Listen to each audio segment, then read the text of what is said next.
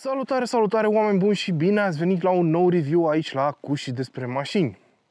Astăzi vom testa noul Volkswagen Multivan, o propunere foarte interesantă care vine să înlocuiască modelul Caravel din trecut. Și s-au petrecut câteva schimbări foarte, foarte importante la tot ce ține de acest MPV de la Volkswagen, uh, începând cu platforma pe care rulează, până la motorizări și, bineînțeles, design și funcții. Și vom vorbi despre toate în momentele ce urmează. Dar pentru o exemplificare și mai bună a tuturor funcțiilor oferite de noul multivan, o să facem o filmare de tip first person view, o să iau camera și o să vă filmez de aproape fiecare funcție.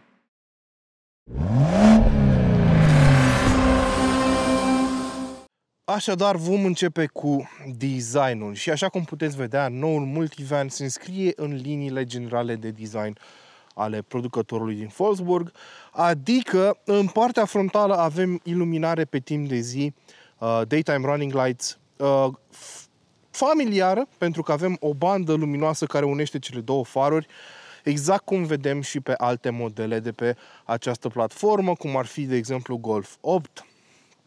Și totul în partea din față a fost desenat astfel încât mașina să devină cât mai aerodinamică posibil și toate zonele neesențiale au fost blocate, totul a fost uh, șlefuit la perfecțiune, astfel încât mașina să aibă un coeficient de rezistență la înaintare cât mai mic. Avem niște grile aici în partea din față, dar sunt destul de mici pentru a alimenta motoarele de sub capotă cu aer proaspăt.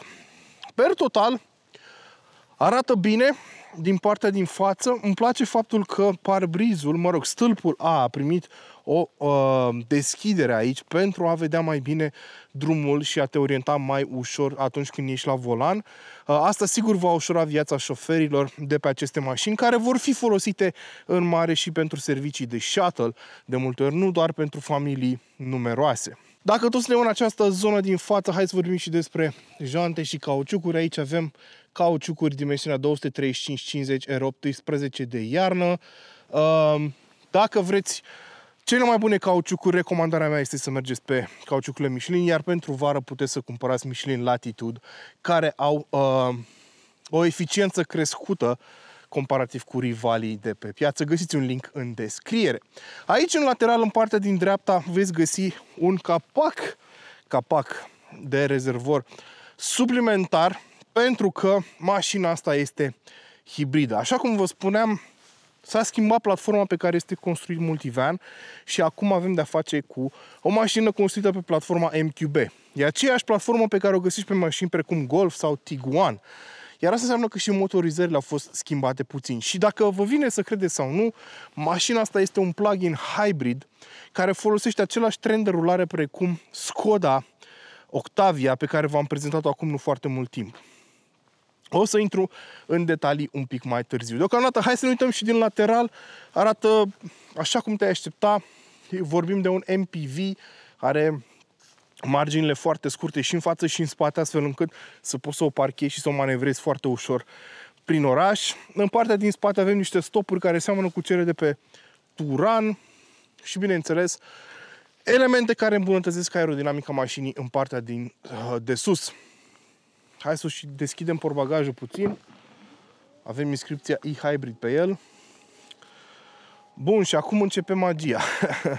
Uh, așa cum puteți vedea, în momentul de față, mașina este configurată și are șapte locuri. Știu că veți număra doar șase, dar ce vedeți aici, pe post de cotieră, este de fapt încă un loc care a fost pliat. Acesta poate fi folosit uh, pliat sau deschis în funcție de câți pasageri ai. Când mașina este în această configurație, aici să mai rămân undeva la 400 de litri de spațiu și aici vedeți cablurile de încărcare pentru motorul, pentru bateria din podea și respectiv motorul uh, electric. Haideți să ne urcăm și în mașină repede, să vedem cum stau lucrurile acolo. Încă o chestie interesantă la această mașină este că accesul se poate face folosind ușile culisante de pe lateral, care pot fi activate apăsând pe mâner pe partea interioară și ele se vor deschide automat. Dar mai poți folosi și cheia. Cheie pe care ai butoane pentru deschiderea ușilor.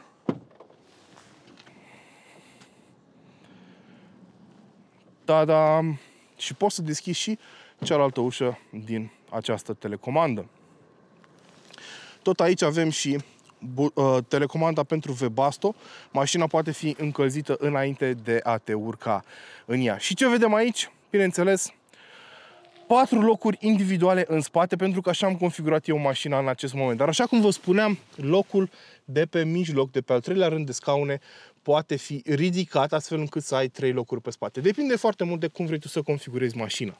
Toate locurile au cotiere ajustabile, iar aceste scaune de pe rândul 2 pot fi întoarse invers dacă vrei, pentru a avea patru oameni în spate care se privesc față în față și pot conversa pe parcursul unei călătorii mai lungi. Tot aceste scaune au și opțiunea de a fi încălzite, dacă vrei să bifezi asta atunci când îți configurezi mașina, încălzirea se face prin intermediul acestor șine care sunt conducătoare de electricitate care alimentează aceste scaune. Accesul pe ultimul rând de scaune se face foarte simplu, ai ridicat de acest mâner și pliezi scaunul din față și apoi te urci în spate. Și locul este generos. Dacă pliem scaunul înapoi, e foarte interesant că acum sania culisantă de jos nu te mai obligă la anumite poziții fixe, ai mult mai multă modul, modularitate pe partea aceasta și poți să reglezi scaunul cum vrei tu și nu mai auzi nici acel clicket pe care l auzeai pe modelele vechi. De aici poți regla ajustarea spătarului, iar acest scaun poate fi scos, așa cum vă spuneam, și în momentul în care îl scoți poți să-l așezi invers în cabină. Aici avem spații de stocare generoase în fiecare scaun. Încă un party trick al mașinii este această masă curisantă care poate ajunge între scaunele din față. Ea are suport pentru ceea ce ai putea tu să ai nevoie pe drumuri lungi. De exemplu, poți să scoți aceste tab- tăblii de aici pentru pasagerii de pe rândul 2, 3 sau chiar și în față, pentru a avea ceva suport, nu știu, poate vrei să lucrezi pe drum sau mai știu eu ce. Tot această măsuță culisantă are și suporturi de pahare, așa cum puteți vedea, și suporturi uh, și spații de stocare aici în spate. Deci este super, super modular. Și faptul că poți să o duci din față până în spate este iarăși foarte interesant. Ce vedeți aici este portul de montare a cotierei pentru scaunul din spate. Pentru că aceste trei scaune iarăși sunt modulare și poți să scoți de tot acest scaun de aici dacă vrei și poți să-ți montezi cotiere pe ultimele două scaune astfel încât să ai cel mai mult confort. Avem prize de încărcare USB pentru fiecare scaun, avem prize de încărcare USB chiar și în ușile culisante, care sunt dotate și cu uh, coșuri de gunoi. Bineînțeles, aici avem spații de stocare și scaune extrem de modulare. Hai să ne urcăm și în față.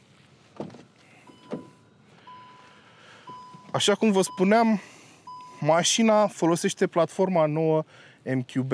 Iar asta înseamnă că avem la dispoziție toate tehnologiile pe care le găsești și pe modele precum Tiguan, Golf și așa mai departe.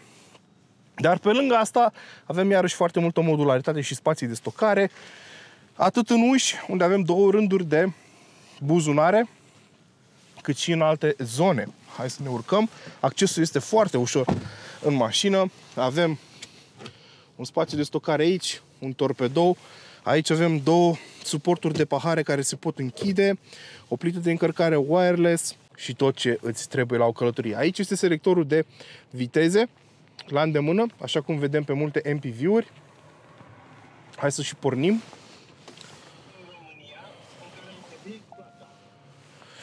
Aici avem cea mai nouă versiune a sistemului multimedia de la Volkswagen. Uh, funcționează destul de ok. În continuare nu sunt un mare fan al controlului diferitelor funcții prin atingere, cum ar fi volumul, care este controlabil prin această cursă aici.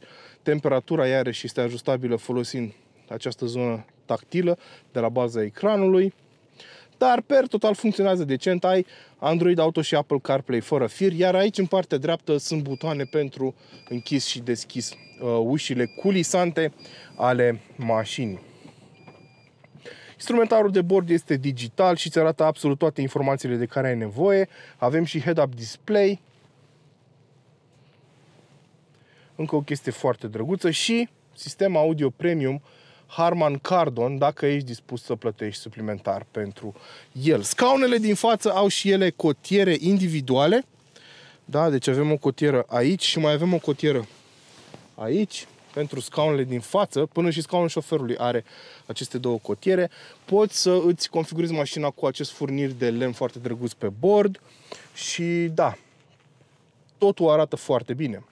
Problema de care vorbeam un pic mai devreme ține de gama de motoare pe care o avem disponibilă momentan. În acest moment, dacă vrei să-ți iei un Volkswagen Multivan, ești limitat la motoare pe benzină sau o versiune plug-in hybrid, cum este cea de față. Gama Multivan este alcătuită din uh, versiunile cu ampatament, mă rog, versiunile scurte și lungi, pentru că ampatamentul rămâne la fel, dar dacă ții versiunea lungă, ai 5,17 metri lungime față de 4,97 cât ai pe versiunea scurtă, cea pe care o avem și noi aici la test.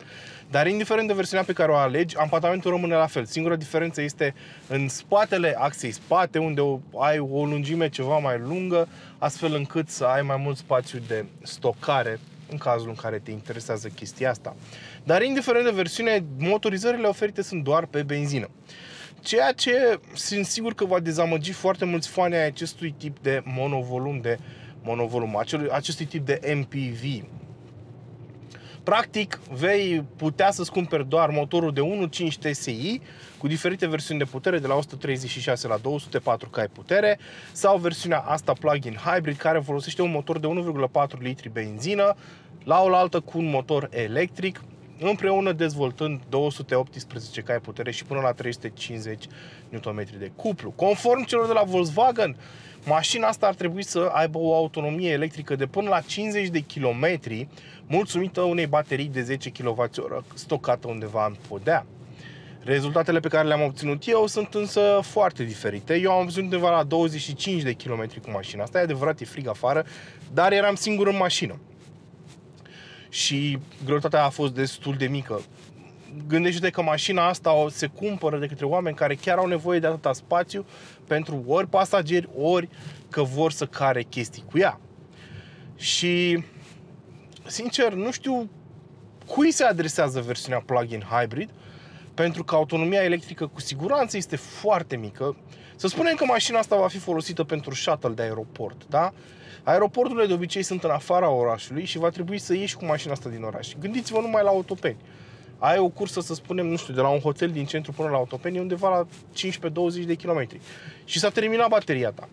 Ai ajuns la aeroport și apoi te întorci să iei alți oameni, dar bateria s-a terminat. Faci o cursă pe zi electrică și apoi să o încarci mașina asta durează pentru că se poate încărca cu maxim 6,6 kW. Asta înseamnă că trebuie să o lași undeva la 2 ore la încărcat și de multe ori mașinile folosite pentru acest regim de shuttle nu își permit să stea atât pe loc. Și în momentul în care s-a terminat bateria, tu va trebui să te bazezi exclusiv pe motorul cu combustie internă, care săracul își face treaba, dar e depășit de situație de multe ori uh, și consumul va crește exponențial. În momentul de față am un consum de 11 litri la 100 de kilometri uh, făcut astăzi cu bateria goală. Uh, dar e făcut în condiții de drum mixt, aș spune, uh, pentru că am mers și prin oraș și prin afara orașului. Prin oraș cred că s-ar apropia mai mult de 12. Mai mult decât atât, să spunem că pleci la drum dimineața cu motorul, cu bateria încărcată, mergi primii 25-30 de kilometri electric, în funcție de câți oameni ai în mașină și pe prima 100 de kilometri consumul tău per total media va fi să spunem, nu știu, 6%, dar apoi începe să crească, începe să crească pe măsură ce tu vei merge ziua cu mașina aia, bazându-te exclusiv pe motorul cu combustie internă. Mai pui 6 oameni în mașină și deja împingi limitele ei până la maxim. Deci, în anumite situații, părerea mea este că, și am mai spus chestia asta pe canal, motoarele diesel în continuare rămân de nebătut. Și în momentul de față, pe multivan, nu ai la dispoziție niciun motor diesel care să acopere acest gol în gamă. Așa că nu știu exact cui se adresează această versiune plug-in hybrid, pentru că nu funcționează pentru mașini de shuttle și nici pentru mașini personale. Hai să spunem că îți cumperi tu mașina asta pentru tine și familia ta. Și cel mai probabil ți-o vei cumpăra ca să mergi la drumeții ceva mai lungi cu familia. Nu vei, nu-ți vei cumpăra un multivan să mergi cu el prin oraș. Pentru că e o dubă de aproape 5 metri. O să vorbim de cât de ușor se conduce prin oraș imediat. Iar în cazul în care îți cumperi multivanul pentru călătorii lungi cu familia, faptul că e un plug-in hybrid nu o să te ajute absolut deloc. Pentru că vei pleca la drumuri lungi, bateria se va termina foarte repede și te vei baza în continuare doar pe motorul de 1.4 de sub capot. Recomandarea mea ar fi să așteptați pentru că Volkswagen a spus că va aduce motorizări de 2 litri diesel sub capota acestui model. În primă fază va fi un propulsor de 150 de cai putere, dar cred că acela va fi cea mai bună variantă pentru mașina asta. Indiferent ce versiune să-ți cumperi, din moment ce vorbim de platforma MQB, mașinile vor fi toate tracțiune pur față, nu mai avem tracțiune spate sau integrală pe multivan deocamdată, ceea ce ar trebui să fie ok per total. Uh, unii oameni sigur se vor plânge de chestia asta, dar uh, atunci când conduci mașina nu simți așa în mod special o problemă din punctul ăsta de vedere. Mai mult decât atât, faptul că se folosește platforma MQB transformă această mașină într-un model um, confortabil. Mi se pare una dintre cele mai confortabile dube, cele mai confortabile MPV-uri pe care le-am condus până acum. Uh, izolarea fonică e decentă până pe la 100-110 km pe oră, atunci începe să se simtă ceva mai mult zgomot în cabină, din, mai ales din partea din fața a, a parbrizului, dar și în spate când stai ca pasager, încep să auzi ceva zgomot mai puternic peste 110 km pe oră, pe la 110-120 de km pe oră. Dar, iarăși, faptul că vorbim de platforma MQB aduce la dispoziția ta toată tehnologia pe care poate să o ofere grupul Volkswagen, de la un pilot adaptiv foarte drăguț, care te ține pe bandă și păstrează distanța față de mașina din față, până la faruri cu IQ Light, adaptive, care se văd foarte bine noaptea, cu tehnologie LED și multe altele. Cât despre conducerea acestei mașini, exact cum este cazul pentru toate MPV-urile pe care le-am testat, este foarte ușor de condus, este incredibil de confortabilă, uh, mai ales uh, șezutul, scaunul șoferului este foarte confortabil, poziția la volan îți dă o vizibilitate excelentă în toate direcțiile, stânga-dreapta. Vă spuneam de aceste inserții pe stâlpul A, te ajută foarte mult prin oraș să te orientezi. Uh, și ai o vizibilitate excelentă în toate direcțiile, ai o lunetă generoasă în spate care e absolut dreaptă, n-ai niciun fel de problemă. Faptul că ai o distanță foarte mică de la roți până la extremitățile mașinii îți permite să o parchezi foarte ușor oriunde și la 4,97 metri nu este atât de mare încât să creeze probleme uriașe chiar și în orașe mai aglomerate și mai vechi cum e Bucureștiu. Iar sistemul de camere este și el genial și te ajută să parchezi la milimetru mașina. E foarte ușor de condus, servodirecția este ușoară, o poți întoarce foarte ușor și n-am avut niciun fel de problemă pe partea asta. Așa cum vă spuneam, singura critică pe care pot să o aduc este gama de motorizări. Cel puțin modelul plug-in hybrid, după părerea mea, nu are niciun fel de sens pe o mașină ca asta. Poți să-ți cumperi 1.5 TSI, dar și acolo, chiar și versiunea cu 204 cai, sigur va consuma destul de mult. Dacă tot vorbim de consum, v-am spus prin oraș în jur de 12 atunci când se termină bateria, când uh, bateria e încărcată, oricum, dacă se termină bateria, poți să mergi cu mașina asta ca un hibrid normal, adică Plecările de pe loc vor fi electrice. Când mergi în marș arier vei merge electric și așa mai departe. Deci te va ajuta în continuare motorul electric chiar dacă bateria ta pare să fie descărcată complet. Per total, Volkswagen Multivan mi se pare o propunere foarte interesantă, cu foarte multă modularitate, foarte multă practicalitate. Poți să bagi înăuntru până la 3500 de litri de obiecte dacă scoți toate scaunele dacă scoți doar ultimul rând de scaune ai până la 1900 de litri de stocare, deci iarăși este o mașină foarte practică, poți să scoți un scaun, 2, 3, să le așezi cum vrei tu prin mașină. O chestie foarte drăguță. Ai tot confortul de care ai putea avea nevoie. Și dacă ți iei cu mașina cu motorul diesel de 2 litri, cred că vei avea și o autonomie destul de mare și un consum destul de decent. Prețurile în România încep de undeva de la 42.000 de euro, dar pot crește vertiginos în funcție de cum configurezi mașina. Modelul aici de față costă 73.000 de euro cu toate opțiunile adăugate. Ne lipsește doar trapa ca să spunem că mașina asta este full options și culoarea bicoloră de la exterior. Dar iată că acest multivan de la Volkswagen costă mai mult decât uh, mașini cu pretenții de la BMW, Mercedes, Audi. În speranța că v-am uh, oferit o idee cu privire la acest nou Volkswagen Multivan, aici se încheie review-ul meu cu această mașină. Sper că v-a plăcut. Dacă mai aveți întrebări, lăsați-mi-le în secțiunea de comentarii de mai jos și voi fi foarte bucuros să vă răspund la ele. Până data viitoare, nu uitați de like, share, subscribe și nu uitați că puteți deveni membri ai canalului pentru beneficii exclusive. Până data viitoare, ceau!